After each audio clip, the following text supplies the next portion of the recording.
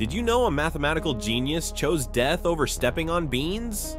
In ancient Greece, Pythagoras led one of history's most mysterious cults with bizarre rules that seem absurd today, but none was stranger than this. Eating beans was punishable by death. His followers believed beans contained human souls desperately trying to reincarnate. To touch them meant destroying a person's chance at new life. This wasn't just superstition to them, it was sacred truth. Then came the day when Pythagoras himself was fleeing from enemies who wanted him dead. He ran through the streets until he reached the edge of a bean field. His pursuers were closing in, swords drawn, ready to strike. All he had to do was cross those beans and he would escape to safety. But he stopped. This mathematical genius, this brilliant mind, chose death over betraying his deepest beliefs. He died there rather than compromise his principles. Sometimes standing firm in what we believe, even when others mock us, matters more than life itself.